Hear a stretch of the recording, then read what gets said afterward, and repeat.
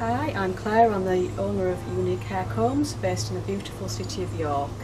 I make um, hair combs from upcycled vintage and antique piece of jewellery. Uh, my bridal hair combs are perfect for the eco bride looking for something to keep after their wedding day.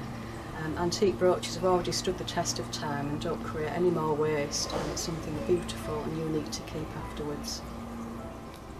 Um, I've worked in the antiques and vintage business for over 20 years. One of my favourite periods is um, sentimental jewellery.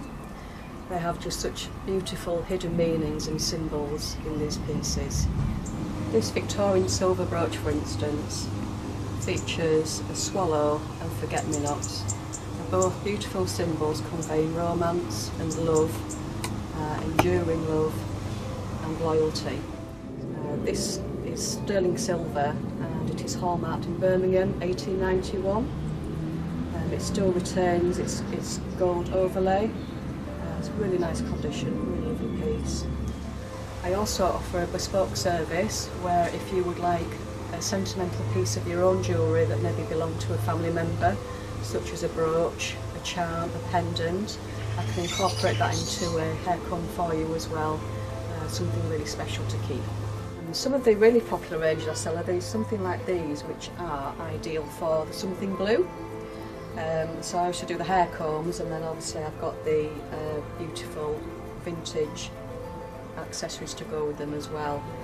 But yeah, just something really different for, for brides to wear. Or even it can also be, with them being coloured, it can be for the bridesmaid as well, or mother of bride. Um, it's just, just really pretty different touch, uh, not something you can get anywhere from any bridal shop. So with the antique pieces, I wire them using a pin onto the comb. It's really important to me that I don't damage these items so that you can actually wear them again as a brooch if you would like to. One of my other favourite materials is marcasite. Uh, this is usually used in a lot of art deco pieces. You still get it today, but what I like about the older pieces is that they're really, really sparkle in the light. They've just got such a lovely soft shimmer. Different to diamante because they are actually a grey stone. So it's not a bling look, it's just something really subtle and it would be nice in like a video or your pictures where you've just got that gentle, just soft shimmer really nice for a, like a classic vintage wedding.